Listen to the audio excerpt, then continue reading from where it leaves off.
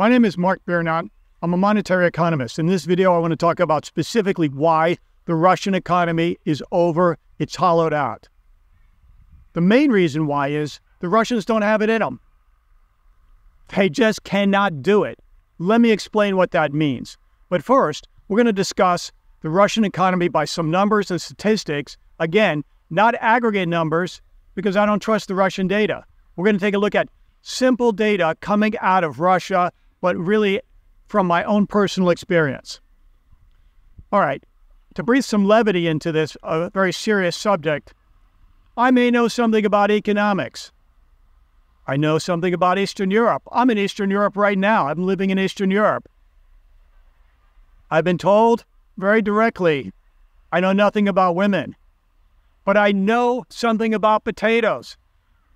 My main source of income in the United States is I'm a potato grower, licensed in St. Johns County, the potato capital of Florida. Potatoes, sweet potatoes, Dioscorea alata, certain cultivars. I know potatoes. Here in Eastern Europe, what am I doing? I'm growing potatoes. I have a field with potatoes growing in it. I know potatoes inside and out. And anybody who wants to test me on this, they can ask in the comments. I try to read every comment, don't always get to it, but you can ask me. The reason I'm talking about potatoes is, according to the UN data, currently 20% of the Russian diet is potato based. What can you make with potatoes? You can make fries, fritki. You can make potato pancakes. You can make mashed potatoes. You can boil the potatoes. You can do basically everything. Potatoes is basically not only a complementary good, but it's also considered maybe an inferior good in the sense that when you have less money, you spend and purchase more of it. Okay? That goes counterintuitive to the basic laws of supply and demand. Why is that relevant? Because most people live in the countryside in Russia. Don't buy it that they're living in Pan Am in Moscow and all the young people there are doing great. Nothing come out, of Russia in terms of economic data is correct.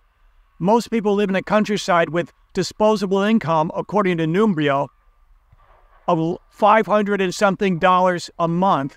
You spend a couple hundred dollars, let's say three, four hundred on your flat, a hundred for media or utilities. You're left with under a hundred dollars for food.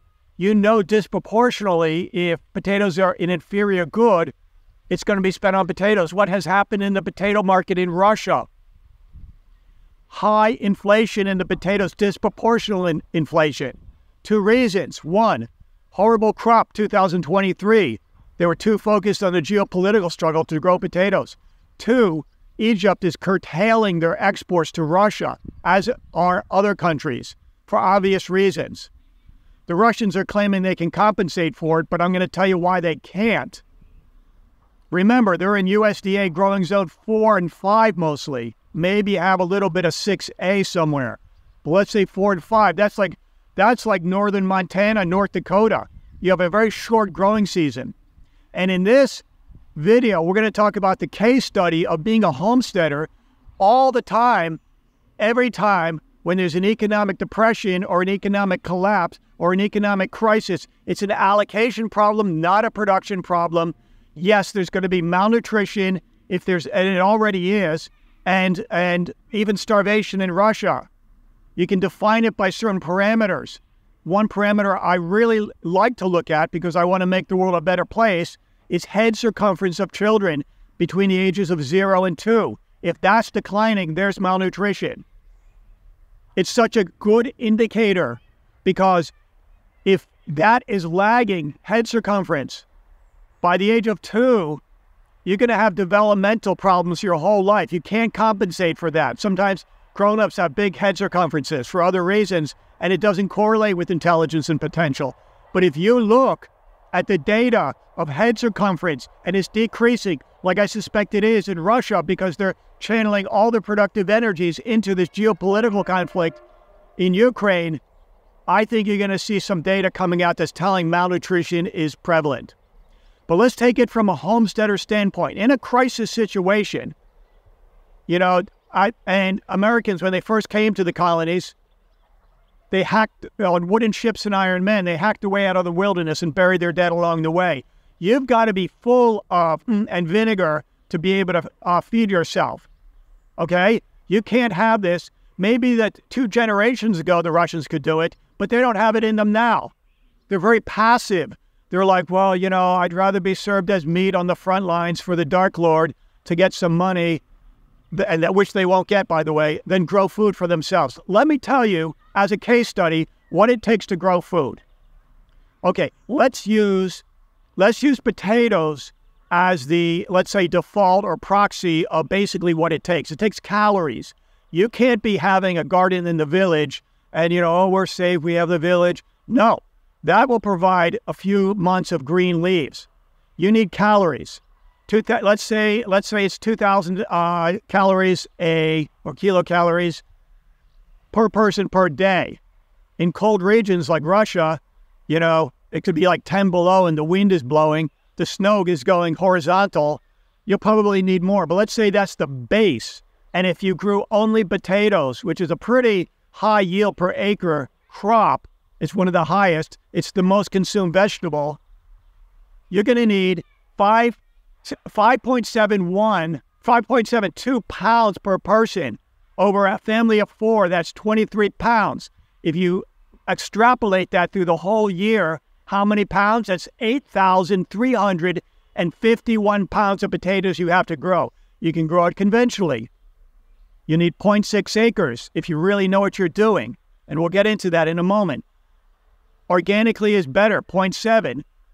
Conventional, you just throw on NPK.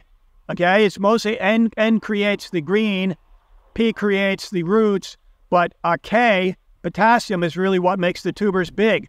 But you do that for one or two seasons, you're going to be, deplete the micronutrients, like I have mentioned, iodine, which is essential for pre preconception and zero to three month fetal development in terms of intelligence and IQ, very highly correlated. You can check Google Scholar. So, what are we talking about here? Do you think the average millennial Russian, with their with her lame attitude, has it in them to, to basically grow 0.7 acres of potatoes? I know I can because I do it for my family. And you know, in Europe we do it. Here in Poland and in Ukraine they do it but you got to really know what you're doing. You got to you got to trade potatoes with your neighbors. First, you got to have the land. Most people don't have the land. They have uh, some crumbling block of flats. You got to get different varieties of potatoes. So it's not the same potatoes every year. Maybe you rent or or you know barter something with a combine or tractor. a chung a chungnik. You can do it with hand tools, but you got to be willing to get your hands dirty, really get in there. I can't see millennial Russians. They're so lame in the respect of their collective unconsciousness. Their parents, maybe. Their grandparents, probably yes. And their great grandparents, napevno, for sure, they could have done it. But the current generation has been so propagandized and lulled into passivity to be passive and to just expect the government to take care of. What's going to happen is there's going to be an economic crisis of you can't even imagine a tsunami in Russia, and people are going to be like in Venezuela hunting rats. You're not. They're not going to be able to grow food for themselves. They don't have the idea. They don't have the the you know oof to just get in there and get their hands dirty. They wouldn't even know how to grow an acre of potatoes. I can do it. A lot of hipsters off the grid, I'm quasi off the grid, can do it. Russians, it's going to be mass starvation. And I'm going to define starvation and malnutrition again as the head circumference of children zero to two years old because I want to quantify it. It's very hard to quantify this data because everything coming out of Russia is untrue in terms of data. It's all distorted. They're claiming they're going to have the biggest yield of potatoes this year, 2024. It's not true. Remember, Russia, again, is growing zone four or five. Very short growing season.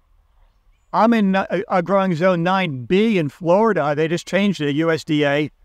I have two growing seasons. I basically grow tubers all year round, various types. Again, the Russians don't have it in them. They're going to lose this geopolitical conflict because it's going to collapse from within. Mass starvation and the effect will echo through generations of undeveloped people with underdeveloped potential because of malnutrition. Don't think of malnutrition as people just not having enough. You know, there's a lot of people who are pretty big and they're malnourished. It's these micronutrients and nutrients, particularly in fetal development and the first two year, years of development where IQ is changing. IQ doesn't change much after two or four, maybe a little bit here and there. So, with this case study of potatoes, I'm telling you right now, you need for a family of four 8,351 pounds of potatoes. And even if you're saying, well, you can substitute that for rye or wheat, uh, you know, which have lower yields per acre, mind you, or you can get bread. It's all this white milled bread, low nutrition bread. It'll fill you up, but it's not going to do it in terms of nutrition. Then you have to obviously supplement with meat and, and eggs and other things. So the vast majority of Russians are totally up the creek without a paddle. They can't do it, and they don't have it in them. And and, and not as a not as anything to do with genetics, because a generation ago they could, but as a collective unconsciousness of the Russians, now they're weak, and they're going to lose the geopolitical conflict because of that. The Russian economy is going to collapse. Look at me; I'm an economist, particularly focusing on microeconomics of individual households living in Eastern Europe studying with academic research, serious academic research in the States. Look at Konstantin inside Russia. He's predicting the same thing. He's an economist. Believe it from us. Don't believe it from these people who are just sitting in, you know, ivory towers and, uh, smoking uh, cigars with port brandy, congratulating themselves on being masters of the universe, working at some foundation. They're not economists. I am. I'm here. I'm on the ground. Okay? I'm on the front lines of, of potato growing. Just look behind me. I don't know if you can see the chung, chungnik, the tractors growing there, humming. Russian economy is over because they're allocating all their resources to non-productive means. No matter what you say, you cannot not have this misallocation. And the beginnings are like endings. I'm going to end it with Shortages are always an allocation problem, not a production problem. You meditate on that and you understand why the Russian economy is up the creek without a paddle. They're being hollowed out and they're they're poised to lose and it's the Russian people's attitude that is at fault and it's hard times ahead. It's the Titanic sinking ahead for them. My name is Mark Biernat. I'm a monetary economist. Have a great day. Thank you very much.